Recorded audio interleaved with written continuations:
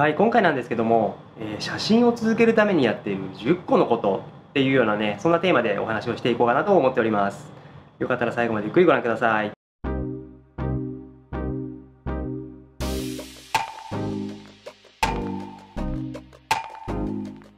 はい、改めましてアンディです。えー皆さん写真の継続ってどうモチベーションを保たれてますかっていうところが結構今回のテーマになるんですけども、いや正直こう一人でずっと撮り続けていくって簡単じゃないですよね。多分ですけどね。なんか万人が万人こうずっとできることじゃないんじゃないかなと思ってまして。でまあそれはもうね例外なく僕もやっぱりこう継続し続けるってやっぱ得意じゃないんですよねいろんなことに興味関心はまあ飛びますしいろんなことやってみたいと思いますしでもね限られた時間の中で何をどう割り振るかっていうことになってくるとやっぱりこう優先順位が下がったものから順にこう続けなくなっていくっていうのはまあ人間の中では当たり前のことなのかなと思うんですよね。で、まあ、僕自身やっぱもう若い頃はもう本当なんか何でもこう横に広げてやりたいこと全部やってでえ結果それが全部続かないみたいなことをねこうやっ繰り返してきたんですけど意外とまあ写真に関してはね、まあ、まだ言って1年半とかですけどももうすぐ2年とかですかまあでも思ったより続いてる方だなと自分では思ってまして、まあ結構やっぱ好きなんですね。やっぱ楽しいんだと思うんで。で、まあその根底にはその仕事の意味でのカメラとかそういう撮影技術みたいなことはまあずっと長くはやってきたので、まあ自分がこうカメラを持つか持たないかと、あと自分の自己表現に使うかどうかというところでのちょっと差はあるんですけども、まあ長く触れ続けてきたものだからこそできるっていうのはもちろんあるとは思うんですけども、まあそれにも増してね、まあよく頑張って続けてるぞと自分でも思うんですね。でじゃあどうしてこんだけ続けられるかっていうところを一回ちょっと言語化しようかなと思ったのが、まあ、今回の企画のきっかけなんですけども結構ね、まあ、やっぱ10個ぐらいのちっちゃなことをこう繰り返していく中で、えー自分自身のモチベーションを保ちながらこう写真撮影っていうのを継続していってるっていう感覚があるので、まあ、ちょっと今回はそのご紹介をしたいかなと思ってます。でまあ一つ目のポイントとしてはまずねもうカメラを毎日持ち歩く、まあ、これにつきますね。とにかくカメラ持ってないとシャッター切れないので打ちたいもの映す映したいものが映せないんですよね。もうこれ当たり前のことなんですけどでもやっぱね手ぶらって楽ですし、まあ、今日は雨降ってるからいいかなって思うようなこともありますしで iPhone でもいいじゃんって思う時もやっぱあるっていうのがまあ人間かなと思うんですけど。それでもねせめてカバンには入れておくとかね、まあ、抱えてなくてもいいから持っていくっていうことはやっぱ意識づけてますね。なのでもう僕は本当コンビニに行く時でもあの iPhone は置いていってもいいから、えーカメラ持っていくっていうようなことは結構意識してやっています。今はもう結構癖になってきたんでねそこまでもう意識せず無意識にふって持って出てますけど最初の方は本当にそればっかりやってましたね。でやっぱ iPhone で撮ればいいじゃんって思う時もあるんですけどやっぱね意外と iPhone って構えないんですよね。やっぱこう持ってることによって意識が写真に向くっていうのはすごくあると思うんでできればやっぱ持ち歩くっていう意識を持つのは大事かなというふうに思います。2つ目なんですけど撮影スポットを探すってことを結構よく僕はやりますね。そのお決まりの定番の撮影スポットがあったりもするんですけど川のそば歩いて撮ったりとかですね。ただやっぱねどうしてもこう飽きが来るというか、まあ、もう同じものしか撮れないとかもちろん日の具合とかね季節によって全然撮れるものは変わるんですけど、まあ、その差がやっぱ大きければ大きいほど面白いっていうのもあると思うんですね。その珍しいものを撮れたとかあのありえない景色に会えたっていうのはすごい喜びになると思うので、まあ、僕はもう仕事から出張がまあ多いっていうのもあってそういった意味ではこう結構ねその仕事で行った駅の周りで撮影スポット探して歩いてみたりとか、まあ、それだけでなくてもねオフィスの周りでいつものコースはこっちだけどちょっとたまには脇道入ってみようかなとかってちょっとしたことをこう変化に加えていくみたいなことは結構やってますねやっぱりね。で3つ目のポイントとしてはね定期的な写真の公開ですねこれは僕はインスタグラムを使ってやってるんですけどもう1日1枚は最低でも出すっていうのはもうこれルール化というかもうルーティン化してましてこれがあるかないかでやっぱ撮ろうという意識が変わってくると思っているんですよね。でやっぱ撮ろうという意識は結局誰かに見てもらうとかそのいいねが多ければいいっていう話ではなくやっぱりこう反応があるとか、えーリアクションもらえるとかやっぱそういうのってすごくモチベーションの基礎になる大事になる部分だと思っているのでやっぱり写真はもうできるだけ出した方がいいと。これがだから別にインスタグラムに限らなくてもいいと思うんですよね。ツイッターでもいいと思いますし。もともと僕が YouTube をそのカメラ側にチャンネル振っていった時もやっぱりこう発信する見てもらうことを目的にしたっていうのは大きいのでやっぱ何かのタイミングで見てもらうっていうのもやっぱやった方がいいかなという感じはします。でインスタグラムとかはねやっぱねこう継続するのも大事なんですけどそのやり方をやっぱこうなるべくシンプルにしないと続かないっていうのも結構あってや,、まあ、やることが増えるわけなんですよねなので僕はもうキャプションとかはもう一切こうあの審議に書かないと決めていてもコピペコピペで全部やってるんですけど、まあ、それぐらいこうライトな感じで起きたら目覚めしたらもう押して送るみたいなぐらいの作業にしかしてないんですけどそれぐらいこうルーティン化して出す場所を作るっていうのも結構大事かなというふうに思ってます。はい、で4つ目ですね、これはね、そのまあ、見てもらうの発展系なんですけど、やっぱポートフォリオ、写真集、作品集を作るっていうところ、これも結構大事かなと思ってまして、これはあのプロフォトグラファーの南雲さんに教えていただいたことなんですけど、やっぱ自分のテーマを持って一冊の本にまとめるとこう、意識が上がるよっていう話を教えていただきましてですね、でこれ、今年に入ってからではあるんですけど、僕はその毎月フォトブック1冊出すっていうのをちょっとルーティンの中に決めましてですね、やるって決めてですね、今それをコツコツやってるんですけども、まあ、やっぱそういうまとめる意識の中で自分が撮った写真の中でのテーマ性を持ってピックするみたいなことをやるとあじゃあもっとこの写真撮った方がいいよねとかこの写真何枚か足りないなとかってそういう意識になってくる。この感覚もやっぱ大事でやっぱじゃあ撮り行こうかなとかじゃあどこ行ったら撮れるかなとかどうやったら撮れるかなみたいなことをやっぱ考え出すということで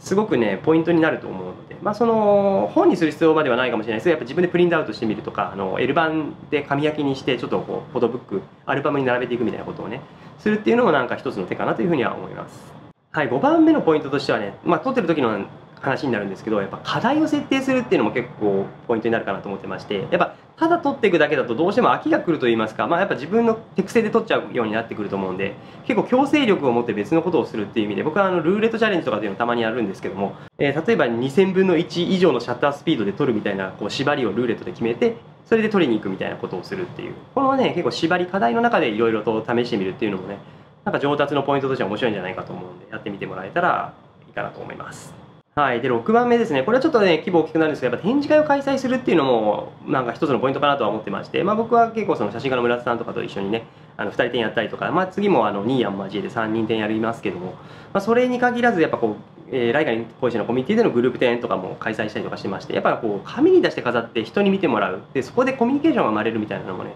すごくこう、自分のモチベーションキープになると思うんですよね。そういうなんかこう展示場所あのちょっと今普段とは違うようなことをやっぱやってみるっていうのもモチベーションキープには大事なことなのかなというふうに考えています。でね次のポイントとしては、えー、違った写真家の方から学ぶ。これも結構大事かなと思ってまして、まあ、そのインスタグラムの中でこうバーッと見ていくことも別にいいんですけどそれが悪いわけではないんですけどやっぱこう一冊の写真集となったプロと呼ばれる人なんならもう一線を行ってる方とかあとレジェンドと呼ばれる方とかね、まあ、そういった有名どころのやっぱ写真からどう学ぶのかっていうのも結構僕は今年はポイントにしてるっていうところで。これはねでもね去年はやってなかったんですよね。やっぱねこう影響を受けやすいっていうのが自分でも分かっていたのであまりにこうそっちに振られすぎないようにっていうところはあえて意識はしてたんですけどまあ、ここまで来たらもうこう貪欲にいろいろ学んでいきたいっていうのもありまして本当にもうねブレストもそうですし川内凛子さんもそうですし野村先生もそうですしなんか本当いろんなこう写真集をねこう今手に取ってこういろいろ見ているっていうのが、まあ、現状の段階でやっぱねいい写真見るとね自分もいい写真撮りたくなるっていうねこれもやっぱ一つのモチベーションキープの方法かなっていう気がしているのであのー、よかったら試してみてください。はい、8番目としてはね写真技術を学ぶですねやっぱスキルアップをすると写真でどんどん楽しくなってくるっていうのは本当体感して思うのでまあ、その自分でシャッタースピードをどう設定するかとかそういった基礎技術ももちろんそうなんですけどもあの南雲さんに教えていただいたねホワイトバランスをあえて青く振って撮るとこんな風になるとかやっぱこうカメラグッと回転させて撮ると面白い絵が撮れるとかあのハイキーで撮ってみるとどうかとかってやっぱこれ知識プラスやっぱ自分でやってみるっていうこの掛け算がすごい僕は大事だなと思っていてで撮れる絵が増えてくるともっとこうしたいもっとこうしたいっていうのをどんどんこう自分の中でね感覚として感じるようになると思うんですよね。でなんか面白い写真を見た時にあこれこういう風に撮ってるんだなって分かるか分からないかだけでもちょっと自分のレベル感って変わってると思うのでで、まあ、それを次試してみようと思うかどうかはまた自分次第なんですけどなんかそういう撮れるスキルの幅が広がっていくこと自体もやっぱりこうモチベーションキープには欠かせないものかなと思うのであのガリガリねこう写真家になろうと思って勉強するっていうほどの意味ではなくてもやっぱりこう日々あ昨日撮れなかったものが今日撮れたとかああの手ぶれしてたものが今回は手ぶれせずに撮れたとかあえて被写体ブレを入れてみたみたいなのとかなんかすごいこう技術的なところをねこう自分の中で研鑽できるとやっぱこうモチベーションはキープできるんじゃないかなというふうには思っていますね。はい、そして9番目これはね結構劇薬なんですけども新しい機材を手に入れるっていうのがありますね。やっぱね新しい機材が入ると撮りたくなるじゃないですかもうモチベーション絶対上がるんですよね。ただまあちょっとこれ劇薬って言ったのはやっぱその機材にこう頼りすぎてしまって機材を買うことに今度目的がいってしまうとそれはそれでまあちょっとこう写真とカメラとのねモチベーションの差がまあちょっとギャップができるのかなっていうのも僕の中にはありまして、まあ、あんまり僕はこう買いすぎないように、まあ、ちょっと去年はやりすぎちゃったんですけど今年は本当にもう完全にフラットにして本当に必要なものしか買わないって決めてるっていうのもあるんですけどまあ、なんかそういう時にねちょっとマンネリ化してきたな自分の中でなんか撮る写真に飽き飽きしてきたな楽しくなくなってきたなみたいな時に1個レンズ買ってみるとかですね新しいカメラのボディをちょっと探してみるとかでねここでまたモチベーション爆上げしてまた続けていくっていうのはなんか一つの手ではあるんじゃないかなと。なのでまあ本当ちょっとこうカンフル剤としての使い方みたいなところとあとまあその自分の写真技術の幅が広がるっていう意味ではやっぱり機材の力ってあると思うのでやっぱそのね 18mm のレンズで撮る絵と 50mm のレンズで撮る絵では全然違う絵が出てきますからじゃあ試してみるっていうのも一つの手だと思いますしなんかいろいろそういうことをねえー、やっていくっていうのも一つのモチベーションアップの手段かなというふうに、まあ、これはやっぱり一つの継続のね力の、あの基礎になるんじゃないかなというふうには考えていますね。はい、そしてね、最後10個目ですね。これはね、コミュニティに入ってみるっていうのをね、僕はお勧めしたいなと思ってまして、まあ、ちょっと自分のやってるコミュニティの宣伝にももちろんなるんですけども、やっぱりこう一人でやり続けるって結構エネルギーがいるというか、なかなか続かないと思うんですよね。やっぱそうした時に、仲間がいるってことの価値ってものすごく高いと思っていて、あの写真に関してもそうですよね。やっぱりね、SNS で流れてくる仲間の写真を見た時に、うわ、いい写真だなって、ああ、自分ももっとこういうの撮りたいよなって思ったりとか、